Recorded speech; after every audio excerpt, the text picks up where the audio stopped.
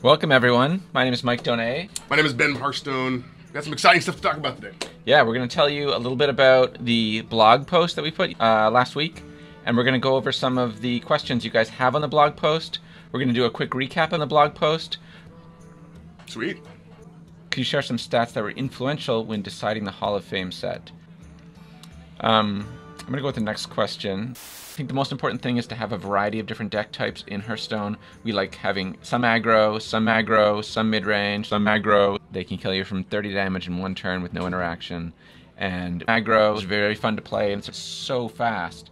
So one of the obvious answers to this is uh, just play the Molten Giants and taunt them up. No matter where you look, Azure Drake is a super popular card. You can see it both on the ladder, you can see it in the tournaments, you can see it on the ladderments, you can see it on the blog post. With the Hall of Fame, because we're taking some cards from Classic, making them exclusive to Wild in the Hall of Fame set, like we're just taking stuff away. Don't play, I don't play Wild, doesn't matter, so it just got removed. We failed. The new expansion comes out with new cards that, you know, will be a lot of face damage for two mana and be like, oh my god, I can't believe he did that, or I can't believe he, he pulled that off. There's so many decisions made. Maybe that's okay. We don't know yet. It's something we'll have to watch in the future. Uh, certainly, we, we don't know the answers. We're going to keep making changes to make the game as fast as possible in both formats. Control will also be worse, and aggro will gain a lot. Aggro has always been very good. You know, right now it's probably in the top two or top three decks, and it's been that way uh, for a long time. So we're just going to keep an eye on it. Um, but I think it's probably healthy to nerf a few more rogue cards as we go on.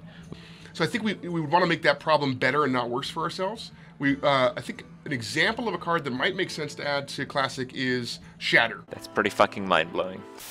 One of the things that matters a lot is the cards that do 15 to 20 points of burst damage in one turn. You probably want to get that close to like 23 or 25 cards. So uh, in the next set, I think there's Frosty Bolt and you know, Icy Bolt and Icy Frosty Bolt. These cards are broken, bad for the game. I think that's a worse world to live in. That that let's let's have that. Um, I think that'll be great.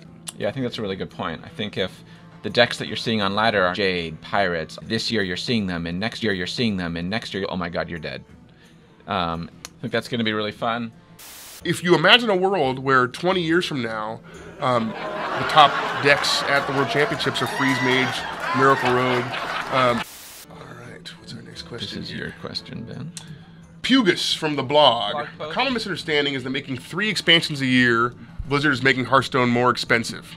Uh, our the reason we made this change, um, we we we like um, um, uh, and uh, uh, uh, free to play players.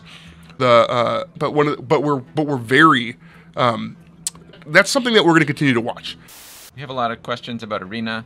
We're working on technology to um, make the players with the lowest skill beat Crip. It's just something we're working on.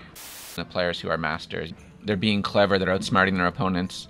Um, and we kind of want to keep moving away from that, although there will still be some decks that do it. It's just sort of a price that you have to pay to do it is what, what counts. Dog! Dog preps in your hand. Great. So I want to let people know that we have a blog coming out this week about a blog or something keep keep your eyes on that blog coming out this week, all about tricky decks, tricky stuff. Sweet. All right, that's it. Thanks for everybody for joining us. It's been awesome. See you later. Blog post.